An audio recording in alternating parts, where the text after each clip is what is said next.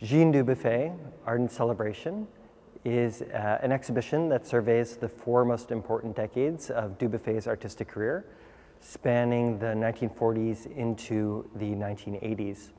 The exhibition is made up of works that are entirely drawn from the collections of the Solomon R. Guggenheim Foundation.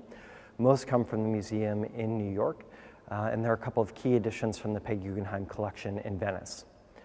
With the exhibition, I wanted to emphasize the aspects of Dubuffet's work, his thinking, his overall artistic project that are essentially affirmative or constructive. Uh, and the title of the exhibition is a reference to that, uh, Jean Dubuffet Ardent Celebration. Uh, the subtitle actually comes from a quote by Dubuffet in which he says he would like his work to be seen as a rehabilitation of scorned values, but to make no mistake of it, a work of ardent celebration.